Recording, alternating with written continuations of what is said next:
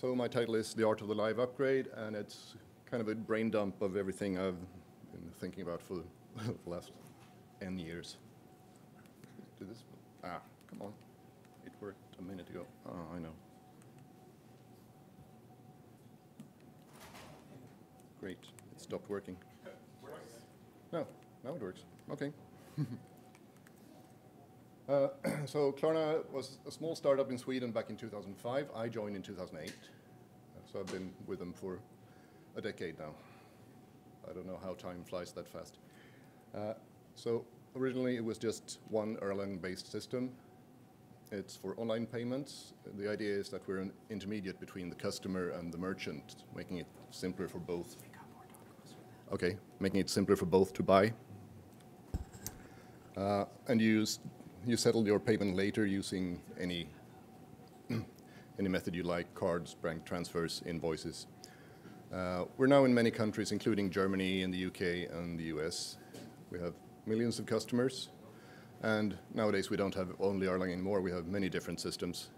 Uh, and we're now a bank, which also means that we have big requirements on traceability and isolation.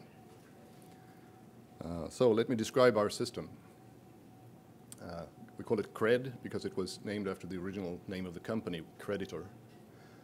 Uh, Sorry, it's still hard to hear. Okay. Lean in tall. yeah, okay. This one, try this. Uh, and it was a big monolith originally handling everything from receiving purchases and doing bookkeeping to serving the web interface, printing invoice PDFs, all in, all in Erlang. Uh, these days, we have moved out several parts to separate services, but it's still a very important system. Uh, it went live in 2005. That's 14 years of 24-7 availability. We've never have had any scheduled downtime ever. Uh, the system has never been down for more than about two hours consecutive, worst case. So it's not perfect. We're historically about 99.98% availability per year. Uh, and, well, according to us, there's still a lot to do because we want those five nines. So some vital stats here. It's appro approximately a million lines of Erlang code, not counting tests. Uh, it's about it's divided into about 250 separate applications, of which maybe 20% are external open source applications. So we, we, we, rely pretty heavily on open source. Write a lot of ours. Uh, that's close to 4,000 modules in the system. And we have about 60 developers that are spread out over half a dozen teams. Uh, over the years, we've had 200 something separate committers, different people working for us. And uh, we have the Git history preserved all the way back to late 2004 when the first commits were made. And that's quite good to have, to be able to dive that deeply into the history of the system, figure out why something looks the way it does. All in all, there are about 140,000 commits in the system. Uh, we have a pretty complex G, uh, CI pipeline, which we're pretty happy with these days uh, consisting of Git and Bitbucket, and Jira, Jenkins, Docker, Ansible, AWS, RPMs, and Artifactory. Uh, so just to go through how uh, our pipeline and branching model works, we have uh, the master branch is the current live version, and we have a branch called stable, which will be the next master by fast forwarding. It's always safe to base your work on that or on the latest master. Developers branch off of that, and every, every branch must have a Jira ticket because we're a bank, so we need traceability on everything. Uh, then when you push to Bitbucket, uh, Jenkins will build and run all the test suites automatically. Uh, then we have code reviews in Bitbucket. Uh, you need at least two approvals per branch since we're a bank. Uh, we have path-based ownership of the code, so any changes to a particular team's code must be approved also by somebody in that team. Uh, when the branch is ready, it gets merged and integration tested, and the stable branch moves forward.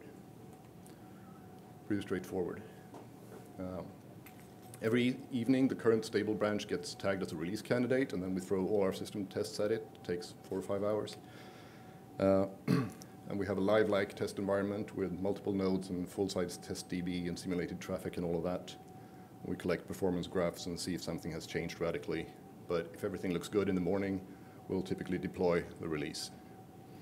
Let me, and so every day we push out between 2 and 12 tickets, depending on how busy it's been. So it's pretty good turnaround. Most branches for developers tend to live only for a few days. If it's a big project, maybe a couple of weeks. but of course, sometimes the pipeline gets clogged and nothing at all gets released for a few days. Um, sneaky error can make it all the way into the integration testing or system testing, and then you, when you discover that, you need to fix it because before that, before you, you fix it, you can't release anything. But of course, that's what the testing is for, to find these obscurer things before they go live. And it might take no more than a, an hour or two to get a new, new ticket and pull request and build and all that to fix the integration. But the main cause of disruptions is typically small hiccups in AWS or Jenkins or Artifactory or Bitbucket. And one of those things can ruin a whole night's testing and there's no release in the morning and it can take a couple of days before we get something out again. Uh, sometimes we have time for a rerun and a release in the afternoon and we really hope that we can speed this up even more so we can release maybe twice a day. But on, on the whole, we're pretty satisfied with this. It's a good pipeline. But we also need to be able to push out quick fixes and configuration changes. Uh, if there's a, an urgent problem discovered on live, it could be a bug that's got in there, but it could also be that the environment changed in some way and the code wasn't prepared for that. Uh, and to do that quickly, you need to be able to bypass the main release pipeline, but you still need the ticket, the review, stakeholder approval, passing build and test suites, uh, separate change requests to live operations, because we're a bank. Uh, and, but after that, you deploy it as for any other upgrade. Uh, also, any configuration change, if, even if it's just changing an IP address of something, uh, needs to be documented as a change request ticket. So there's a lot of red, red, tape, but with good tools, it only takes a few minutes to set all that up. And so it's not, not that much of a pain. And having all this traceability is actually nice for developers too. So if you can do it do it because it's very nice to be able to, a couple of years later, look back at why something happened, why was this changed. Uh, when you have a big system that's complicated, it's also important to try to keep your developers happy and productive, which means that you want to keep local compile times down as much as possible. We have a heavily parallel build with 4,000 modules, you can understand that. Uh, uh, it's important to reduce the whole turnaround time of the pipeline, so we also have huge parallelization of the, all the test suites because we have lots of tests. Um, good tool integration is very important to reduce all that manual clicking in various web interfaces so that in as much as possible uh, they pick up what all the other systems have been doing. So if you push a change to, to a branch, that's detected. Uh, it's also important to track to have, to have some sort of good system for code ownership. Uh, and we have divided up all our apps uh, among the teams. That reduces the likelihood of strange merge conflicts when you want to push your stuff to live, because you typically know what your team is doing, and if somebody else wants to change your team's code, they come and ask you first. Uh, it, it, also makes it easy to determine who gets to review what. Uh, okay. and uh, dividing your code base properly into applications make it much easier to add and remove whole code units. Just adding a whole new application or deleting an obsolete application, that's very satisfying.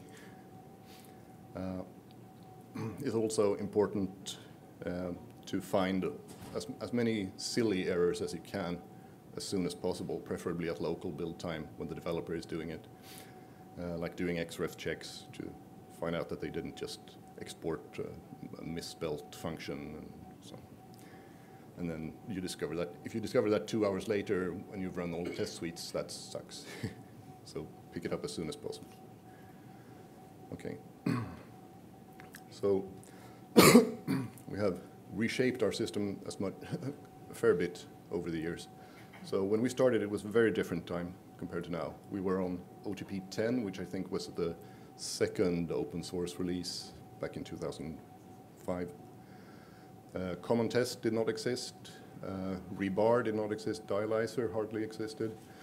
Cloud computing was unheard of most, almost.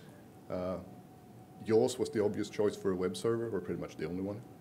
There were no really good database bindings, so why not pick Mnesia? I mean, it was, it was a startup anyway. Nobody knew that it was going to be big. yeah. Uh, and nobody in-house really knew how OTP releases worked. That was sort of a dark art from inside Ericsson. Uh, we were on CVS and Subversion. Uh, in mid-2010, we switched to Git, and that helped a lot with merges. Before that, merging was a big pain. Uh, and we were using cruise control for automated build and test. And we made every mistake possible, I think, when it comes to structuring the code and so on some of those books were not written back then. Uh, but Erlang and OTP and the Beam VM have held up incredibly well because they've handled this enormous growth that we've had that nobody really expected or dreamt of. And Erlang has allowed us to just keep restructuring bit by bit without stopping anything really. The original system had something like 10 applications. Two of those were called MISC and Util. uh, and by late 2011, we had gotten about 30 apps and about 100 developers, and that was also getting painful when it comes to code ownership. People were treading on each other's toes all the time. Uh, so we had this kind of a Cambrian explosion where we split the code up into a hundred apps in a big bang thing, still not without, uh, still without stopping anything. Uh, and this made it easy afterwards to start from that point, adding removing apps as the unit of functionality. And now we're up to about 250 apps. Uh, other things we've been doing is splitting up bad supervision trees. So the apps we had when we started, some of those were doing way too many things in a single supervision tree, in a single application, with multiple unrelated processes. Uh, so we moved those out to new applications, having their own supervision, could be started and stopped independently. Uh, when we did that, some of the processes were easy to just, they were not that critical, so we could just stop them and then restart them under their new supervisors. But we had to do some trickery to actually move some critical processes from their current supervisor to a new supervisor without stopping anything. Anyhow, this uh, splitting of the, of the supervision, moving from a, a kind of a deep supervision tree to a much flatter hierarchy of things made it much easier to think about the particular responsibilities of a particular app. We've worked a lot on reducing coupling. As I said, we did originally every mistake in the book. People were banging on on their keyboards and you got dependencies everywhere. So we've been splitting up head header files. Small header files is good, big is bad. Uh, just to avoid useless recompiling whenever someone touches a header file. Uh, you want to parallelize the build as much as possible. Uh, we've split the applications into layers. Uh, and we have a tool that does an XREF-like checking of application dependencies so that an application in one layer is only supposed to call applications in the layer below it and no, no other applications. This is also quite useful for maintaining the structure of the code base. We might open source that someday, but it's kind of grotty internally. Um, Another thing is that code which was only really intended for testing should not be part of the release. that often ha happened previously that you found out that uh, you, you found some stupid function that where the comment said this is only for testing, and then you remove it and something crashes on live because it was actually using it. no. Uh, and adding more abstractions, restriction, the usual restricting knowledge to, to specific modules and others go, have to go through the API, such as what what's the representation of a particular data structure or uh, how is stuff stored in database tables. So I mean, we, we rarely do uh, full uh, abstract data types that strictly, but we, we try to keep it isolated. Maybe a single application is allowed to know how, how something looks and everybody else has to, has to ask it. Uh, and of course, we try to break out subsystems to external serv- services now, and- now and then if they're if they are really better off running on a separate machine somewhere, and in that case they might not need to run in Erlang at all. Okay, so live upgrades, how you do it? You deploy the code, you load it, and profit. okay. Uh, so I guess the question is why don't you just stop the servers and restart them one at a time like most of the world is doing?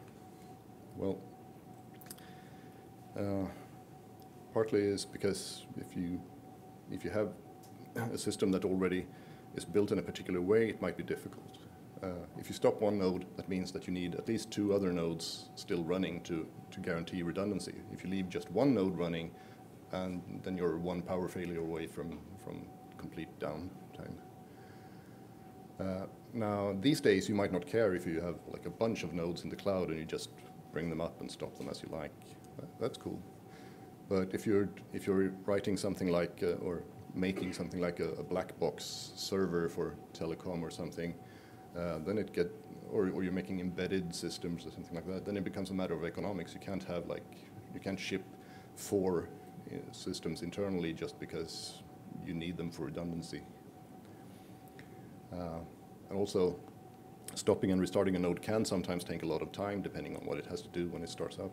And you might not want that long windows, window where nodes are running different code. Uh, when you do a live upgrade, uh, that can have much less impact on the system. Uh, in particular, it enables you to do small changes without stopping anything. You can do bug fixes or temporary workarounds if something crops up. You can insert missing logging or instrumentation when you need it. That's extremely useful. You see some weird behavior and you realize that it's probably in this piece of code and it's not logging everything it should be logging, so why not put some logging in there and do an upgrade and see if we can figure out what's happening. Uh, you can, uh, when you want to migrate a service, you can do stuff like insert redirections of calls to switch to that new service, and you, we do this kind of often that you run something in, in shadow mode for a while just to verify that it seems to be, the new service seems to be, be behaving as it should, but it's not actually doing much. And then you start moving traffic a uh, small percentage at a time to the new service until all of, this, all of the load is going to the new service. Then you shut down the old service, and eventually you can uh, remove the obsolete code.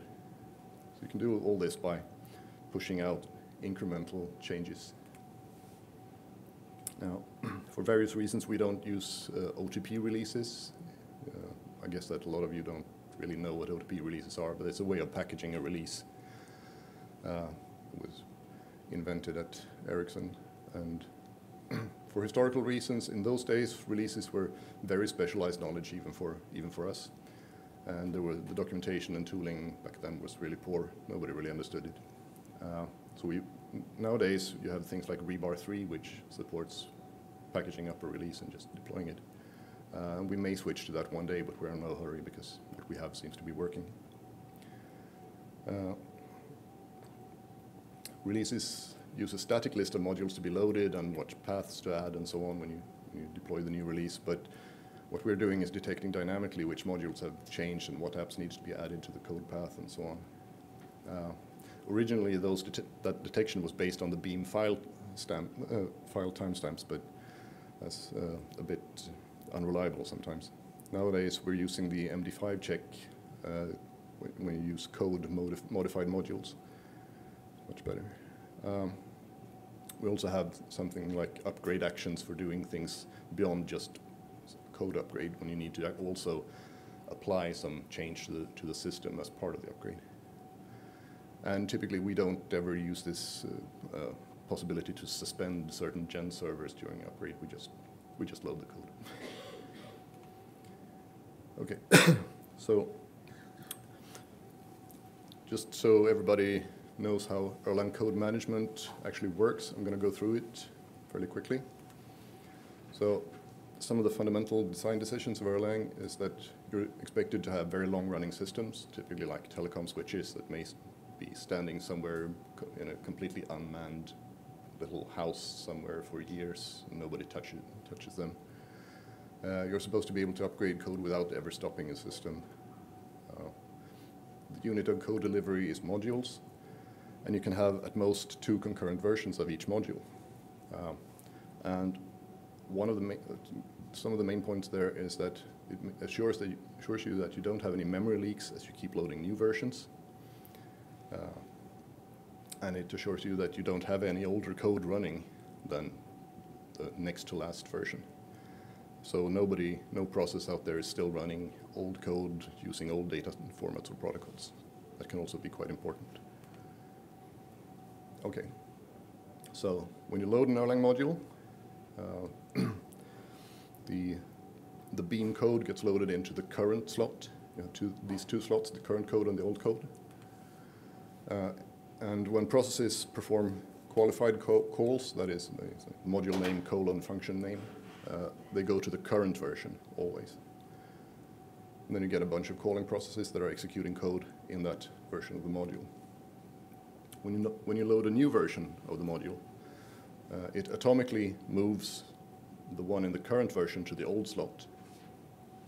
And uh, all the old call callers will keep running that code. Uh, and the new version gets loaded into the current code slot. So any new callers will use that new version.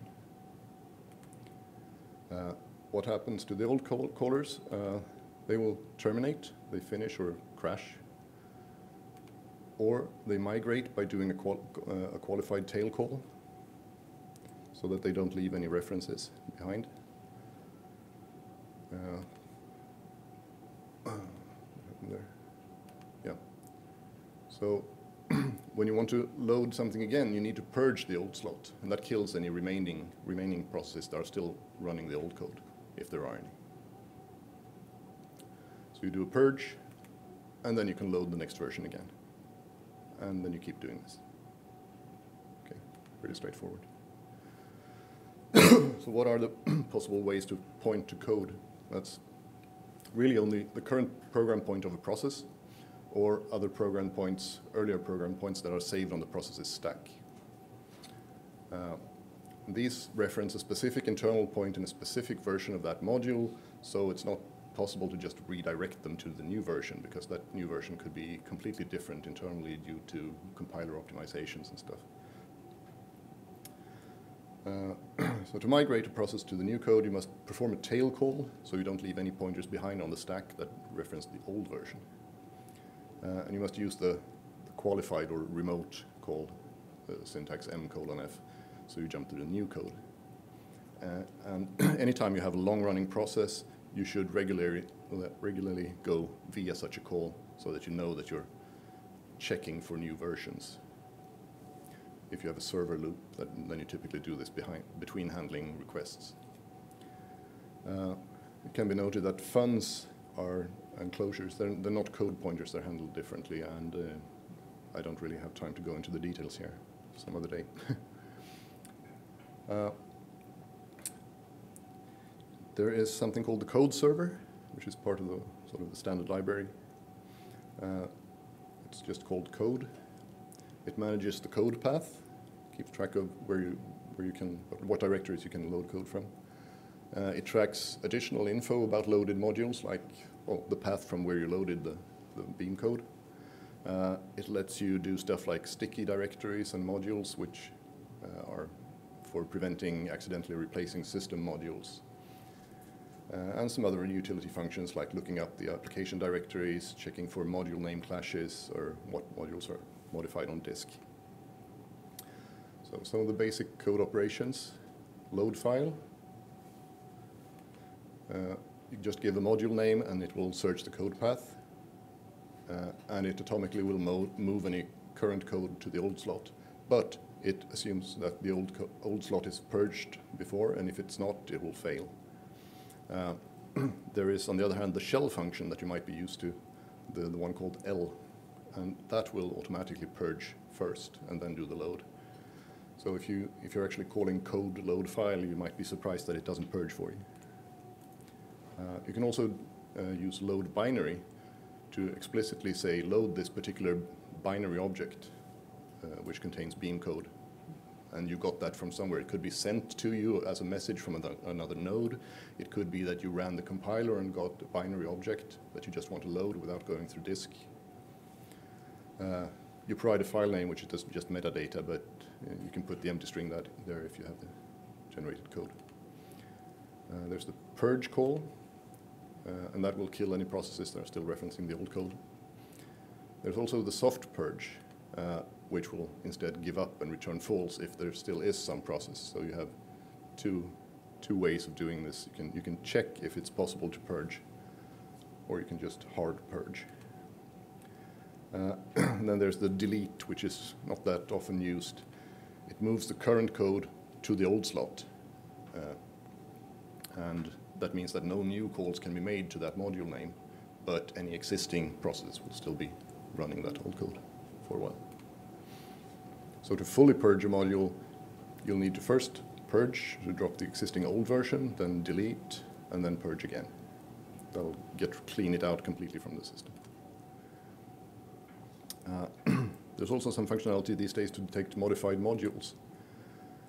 Uh, so the modified modules function will list all the loaded modules uh, that have changed on disk. That's what we use. Uh,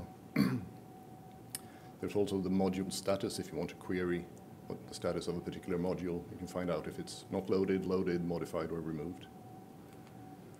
Uh, and what these do is that they compare the MD5 checksum of the, of the code that's currently loaded with the corresponding checksum of the Beam code on disk. Uh, and there are a couple of shorthands in the Erlang shell, the MM and LM for modified modules and load modified. Uh, this is code that we contributed and it's available since OTP 20. On the other hand, you have the code primitives in the Erlang module. Those are low-level primitives with no knowledge about search paths or stickiness or applications, things like that. So, and the code server is built on top of these. So ordinarily you shouldn't be using them, but you can if you know what you're doing. Uh, you shouldn't, generally you shouldn't use them to change the state of loaded code because that can make the code server lose track of what's actually loaded if you, if you deleted a module and didn't tell the code server about it, for instance. On the other hand, they're faster because there's no server process communication overhead. So you don't need to talk to the code server. Some, some useful primitives are the Erlang loaded function, which will list, just list all loaded modules. Uh, you can poll to see if a particular module is loaded or not.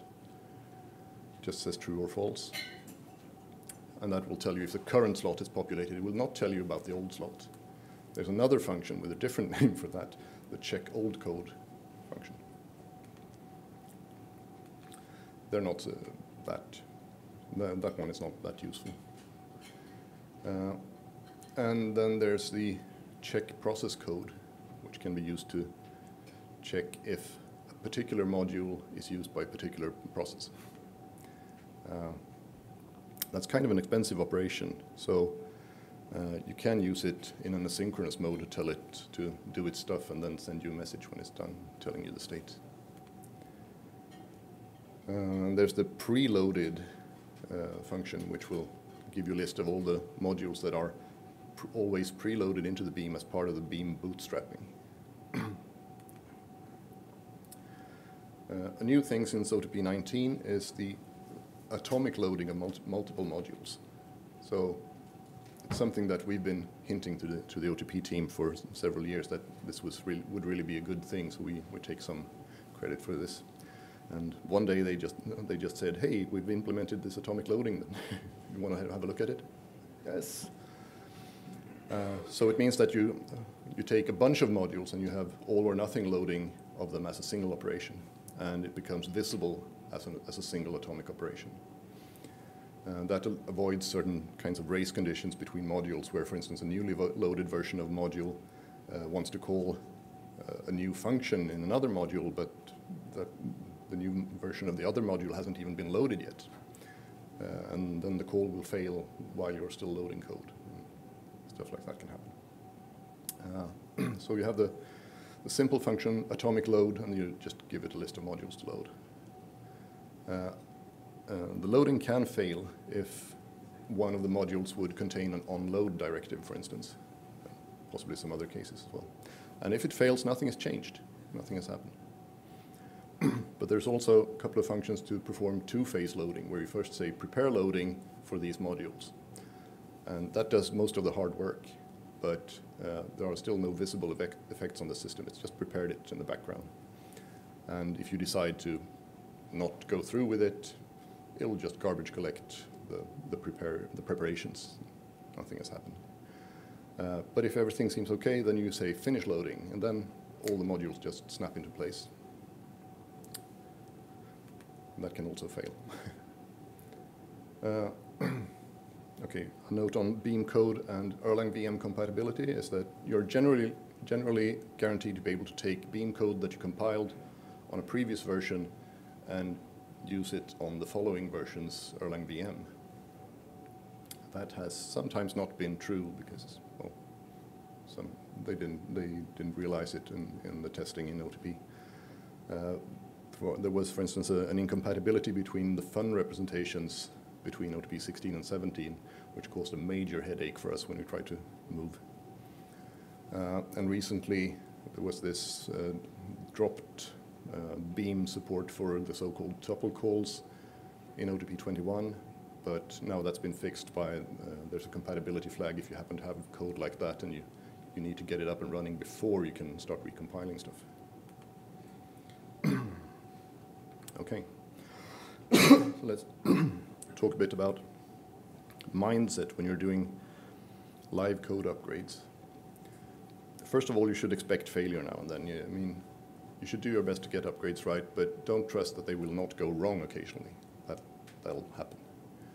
Uh, so you should try to write resilient code that stays alive, survives minor hiccups.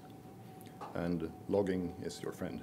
Uh, also, don't, um, don't scare your live ops people by sort of causing unnecessary bursts of errors, because sometimes you know that when you, when you bring an upgrade live, it'll cause a, a flood of a short-lived flood of messages going, and then everything's nice again. But if you didn't tell live ops about this, they'll go crazy and start phoning everybody. So at least add some kind of note to the upgrade that you know that this is going to happen. It's harmless. Uh, so when you're working with traditional software, there are some things that you need to think about when you're when you're upgrading code. So if you have a if you're doing a cold start with an empty system, there's typically no, nothing to worry about. You, you don't have any local old data. Uh, but if you do a restart with a populated system, a new code, then there could be old data representations stored on disk and so on. We all know this. And of course, if you speak to other machines that haven't been upgraded yet, they could be speaking older protocols. And, okay. But when you're doing live upgrades, there are more things to think about. So you have all the traditional stuff, plus uh, that you have old data formats could still be in flight in RAM being used.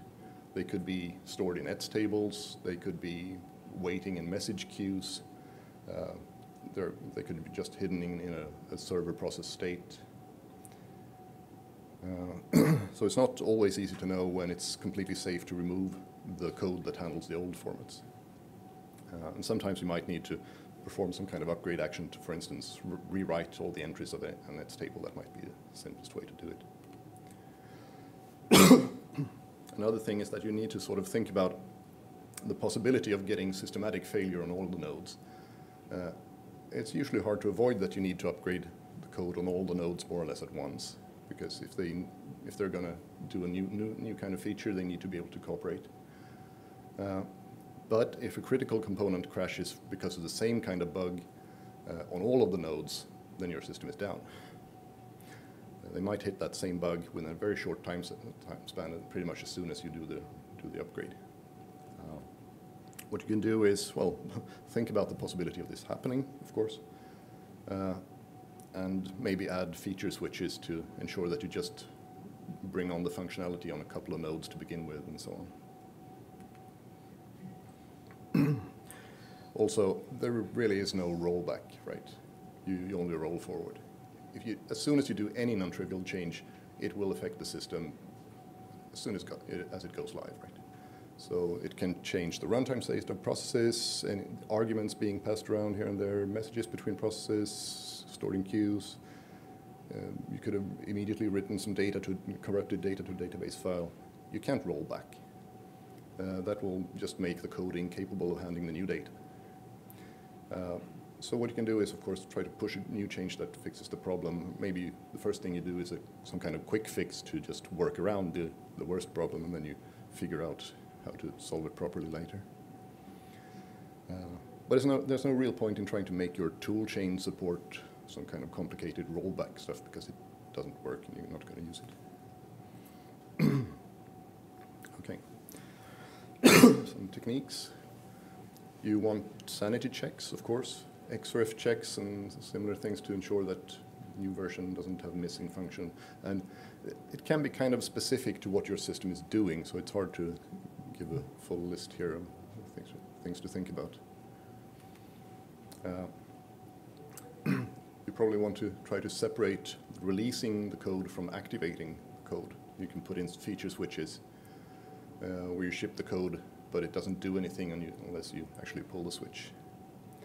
Uh, and or you can release in multiple phases where you first ship code that handles new data formats before they're actually being produced.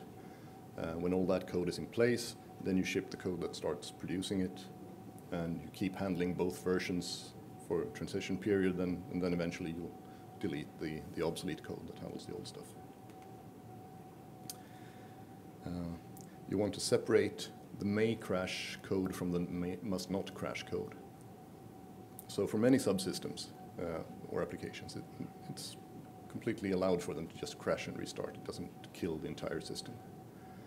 Uh, you just use use your normal precautions for, for doing upgrades, but you assume that things can go wrong, wrong and you'll get an application restart. And if the application keeps just restarting and restarting and restarting, you apply a fix and all is well again.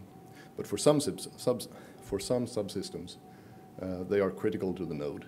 Uh, if they go down, there's no point in having the code, having the node running anymore, because it could have lost track of stuff, and it's better to just shut it down and restart the whole node, and hope that you have redundancy in other nodes.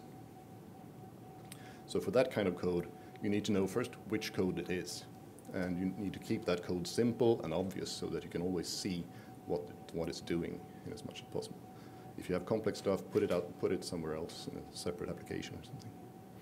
And be conservative with changes. Don't don't go in there willy nilly and do, oh, this will be cool, ship it, and then you bring all the nodes down. Uh, yeah. Sometimes you need to do some temporary dirty hacks. You could typically stuff that you have some internal functionality, but you need it for an upgrade action, so you export it. If you do that, maybe you need to rethink its role and maybe it should be part of the API or something. Or you just hide it away again. Uh, you can use things in OTP like the sys module and other internal functions to sneakily modify the state of a running gen server. Uh, that's occasionally useful when you want to do some really tricky modification of the code. Uh, and it's quite usual that you need to move stuff around on disk, so you need to put in soft links here and there just to keep things running. Uh, okay, full upgrade testing is very good to do as well. We have it part of the CI pipeline, typically runs in, in Docker containers. so you can set up a small cluster. You don't, you don't, don't just do it on one machine, but set up a small cluster uh, with simulated load. It shouldn't be just idling, because if it's idling, then you're not actually testing what's happening in, in a real upgrade. In a real upgrade, there's processes doing work, and then you change the code.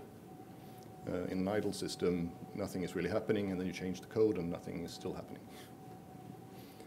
Uh, so you set up this system, and you start it on the current live version and warm it up for a while uh, with simulated traffic. Then you de deploy the, your candidate release version and perform the upgrade and see what happens, collect error logs, preferably look at metrics and so on. Uh, some, some pitfalls. Remember to enable code migration. That's a common one.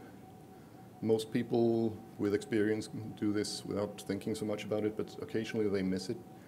So if you have any service or just a long-running task, uh, it should regularly go through one of these qualified tail calls so it checks if there's new code to switch to.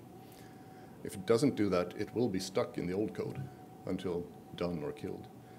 Um, and it's happened that you you ship some code that's supposed to do some kind of like heavy job, uh, maybe crunching a, a, a table, and then you realize that you started off and it's not doing exactly what it's supposed to do, but it doesn't respond to code change either. so you either let it finish or you kill it in mid-execution. Yeah. Uh, it can be easy to miss this even in, in a code review. you also need to remember to update settings everywhere. So that's also a different thing from ordinary code upgrades. That in a live up upgrade, you need to apply change setting uh, settings. Uh, you need to apply them both to the running system